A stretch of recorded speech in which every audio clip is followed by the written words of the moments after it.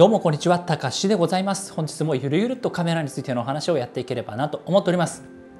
このチャンネルではカメラ楽しいをコンセプトにした様々な動画をお出しております。ぜひ初めての方はチャンネル登録をよろしくお願いいたします。あとね、サブチャンネルで、まあ、千葉の観光情報とかね、いろいろ魅力を紹介する動画を配信しております。ぜひね、こちらも概要欄にリンクありますので見ていただければなと思っております。今ね、あの釣りにハマっておりまして、ちょうどね、うなぎの釣れた動画みたいなのを出しておりますのでね見ていただけると面白いかなと思います。うなぎ釣りね一番コスパがいいんですよね。天然うなぎが釣れるみたいな感じなんでね。国産は高いですからね。はい。さて、えー、今回は何のお話をしたいかなと申しますと、えー、先日ニコンのね、えー、東京ニコンプラザ東京、まあ、新宿にあるところなんですけれどもあちらで ZFC のね実機が展示されているんですね。なので今回実際に触ってみた感想そして触った時のお写真なんかをね、えー、見ていただきながら進められればなと思います。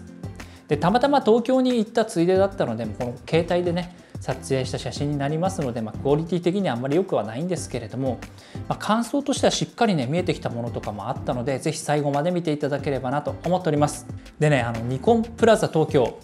で ZFC が展示されているんですけど結構ね混み合ってます。僕多分朝一からちょっと過ぎたぐらいお昼前ぐらいで行ってるんですけどそれでも10分とか15分ぐらい待ちの列ができていたのかなっていう感じです。やっぱねこのカメラ人気があるんですよね。ニコンからも、えー、供給不足のアナウンスっていうのが出ていたと思います。なので、まあ、非常に人気の高いカメラになるんじゃないかなと思いますんで是非ねお求めの方も本当に早く予約をしてそれで早く手に入れるっていうのはねいいんじゃないのかなと思います。僕はねあの発売日の10時にマップカメラさんで予約をしているんでもうすぐ届くといいかなっていう感じですね、まあ、そこら辺どうなんでしょうね。でちなみに僕は単焦点 28mm のねセットのカメラの方を購入したんですけれどもこのね 28mm の単焦点がついてる方のこのセットっておそらく伸長性があるというかフルサイズに移行しても、まあ、しっかり使っていけるレンズだと思うので、まあ、そういう意味では初めての方はこっちを買って興味が湧いたらね Z マウントのフルサイズ機を購入するっていうのもありなんじゃないのかなと思いました。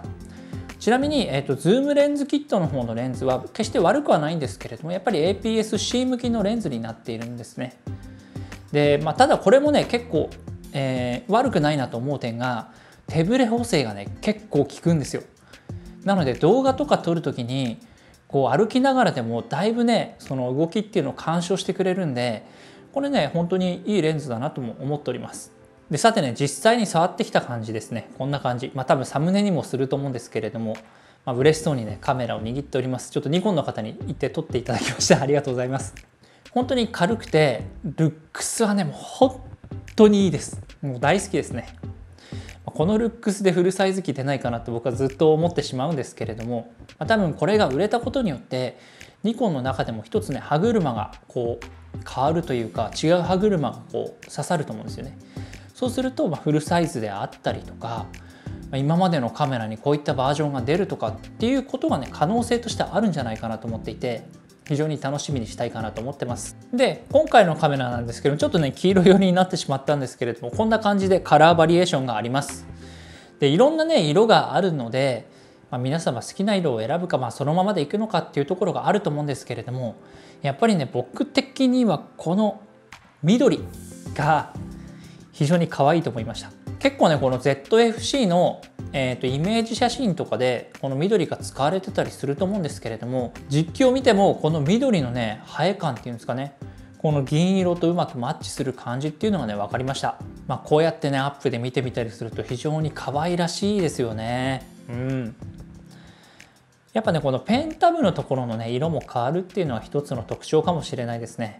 で意外にね僕白も可愛いなっていうふうに今回ちょっと実況を見て思いました。白ってちょっと汚れちゃいがちの色なんですけどでもそれでもやっぱりこの清潔感というかホワイト感っていうのはね近代のトレンドの一つであると思うんですけれども非常にマッチしておりましたね。でねこんな感じで、まあ、革をねこうかたどっている感じのね制作途中の絵みたいな感じをイメージで再現してくれているんですけれどもなんかかっこいいですよね。職人っていう感じですよねこのやっぱりカジュアルっていうコンセプトっていうのの裏にはこの職人性が隠されているっていうのが僕がね今回強く思ったポイントになります。でまあこのね写真を見ていただいてもちょっとああすごいなって思うところがあるんですけれどもそれだけじゃないんです。実はねこの ZFC の細部に至るまでね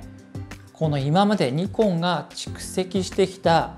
ユーザーインターフェースへのこだわりっていうのが出てるんですよね。本当に職人たちがね今まで積み上げてきたそのね全てがこのニコンの ZFC に詰まっているんじゃないのかなと思いました。いや何を基準にそんなことを君は言ってるのって思う方もいると思うんですけれどもこの写真を見てください。これね上からボタンを見た写真なんですけれども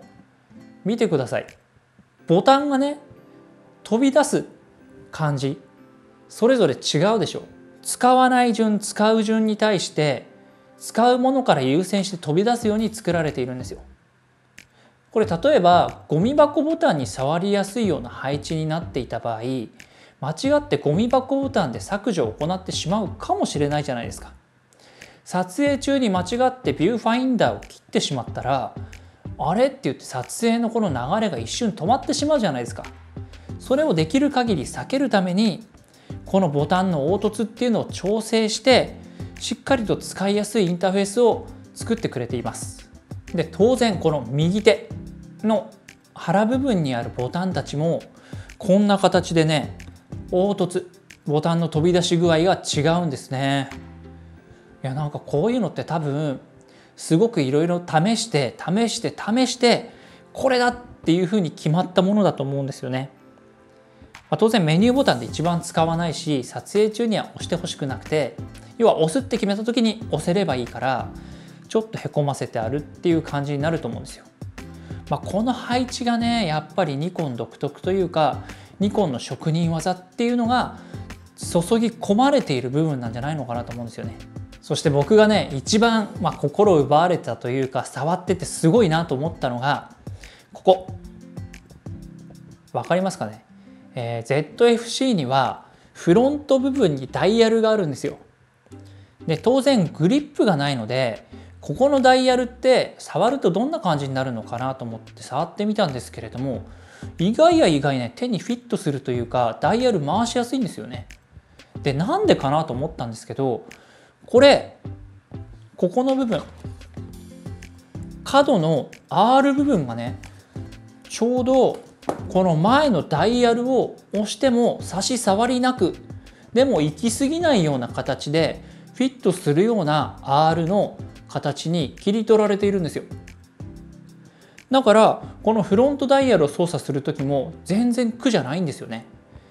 ましてやグリップがついていないんでここのねこの厚みがない分回しづらいはずなんですけれどもそれでもしっかりと回せるような配慮っていうのがほんとちっちゃなことかもしれないですけれどもしっかりとね対応されているというところなんですよね。これって何も考えずに触っていると多分見落としちゃうポイントかもしれないんですけど深く深く考えていくとねこのニコンがどういうふうにしてこのカメラを作って設計してどういうふうな形でねリリースしてきたかそういうところの裏事情みたいなのは結構見えてきたりするんじゃないでしょうかね。であとね気になった部分に関してはダイヤルのカチカチ感もね非常に気持ちよくカチカチカチって言ってくれるんでこの辺もお気に入りでした。であとはねシャッター音をまあ聞いてきたわけなんですけれども、まあ、これは好みが結構分かれそうかなと思ったんですけれども僕は OK です。まあ、理想を言うとねやっぱりあの一眼レフ時代の音っていうのは欲しかったりもするんですけど、まあ、そうはやっぱりいかないんでしょうね。ま、ただ今後の世代でこのシャッター音の遊び方っていろいろもしかしたら出てくるんじゃないかなと思ってこれはね各メーカーさんには期待をしていきたいかなと思います。もしかしたらグローバルシャッターとかが搭載になると本当に音は電子音のみみたいな形になってくると思うんですよね。その時にこの電子音っていうのがどれだけ心地よいかって多分結構撮ってる時のモチベーションにも関わってくると思うんで、まあ、そこのね出し方とかどういう音がいいのっていう研究をね各社していくんじゃないのかなと思うんですよね。まあ、そうなってくるとまたねもうちょっと面白い感じにもなってくるかなと思います。であとねえっ、ー、と電池どういう風に入ってるのかなと思ってだいたいグリップがあるとそこに縦に入っているもんじゃないですか電池ってでもこのカメラってグリップがなかったのでどういう感じに電池入るのかなと思ったらやっぱ横の形で入れるというところでしたねでその裏側に SD カードスロットもあるのでそこにね合わせて挿すみたいなそんな感じでしたね。触っていると楽しい気分になれるっていうのがねこのカメラのね最大の特徴かなともやっぱり思いましたね。もう心がねちょっとウキウキするんですよ。で多分触っていった人たちみんなそういう風な感想を覚えていたんじゃないのかなと思います。やっぱりねデザインの力っていうのは非常に強いですね。今後もね多分このカメラの成功でいろいろ変わってくる部分っていうのは絶対あると思います、まあ、キヤノンもソニーも多分これを見てねいろいろやってくるんじゃないのかなと思うので、まあ、小さなところでのデザインとかあとこだわり。これがね今後多分非常に重要になってくると思います。ただねやっぱりニコンっていうこの昔からあるね、まあ、ちょっと何て言うのかなあのしっかりと腰を据えているメーカーだからこその輝きみたいなところも実はこのカメラってあったりするのかなと思っていてなんかちょっと同じデザインのものをソニーが出すとまたちょっと違う受け取られ方をするのかなっていうところもあったりするんでなんかこのブランドの持っている本来のね力というか意味合いっていうのとこのデザインの力、まあ、掛け合わさってね今後どういったものが出てくるのかっていうのは非常に期待したいかなと思ってます。はい、もしね皆さんあのニコンプラザがねお近くにある場合は是非ねそこまで行って実機触ったりとかね見てみてください。で特にカラーバリエーションについては、まあ、本当にパンフレットにあるような色合いなんですけれどもやっぱりね実際に見るのとカタログ上では若干の違いとか、まあ、全体的な印象とか、まあ、3D で見るわけなのであると思うんですよね。まあ、そういった意味で、まあ、多重の張り替えとかになっちゃうとまたね時間もかかってしまうと思うんで、まあ、一回見ておくといいかなと思いましたで僕のおすすめはやっぱり緑っていうのはお伝えさせていただきます当然ねあの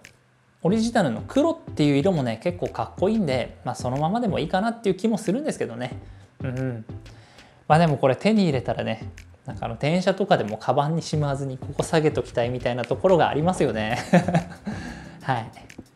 まあ、そんな感じでね今回は実機を触ってきましたという動画になりました。是非ねこのカメラについて思われていることとコメント欄にていただけると幸いかなと思っております。いつも本当にコメントありがとうございます。しっかり読ませていただいております。えー、コメントのご返信については新しいものからね順にさせていただいてはいるんですけれどもちょっと追いついていない部分もありますので、えー、特にそのコメントがいいから悪いからでコメントを返してないわけではないのでその辺だけご了承いただければなと思っております。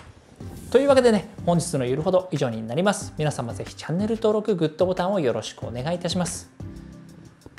いやー、待ち遠しいですね。はい。それではね、皆様、良いカメラライフを。では。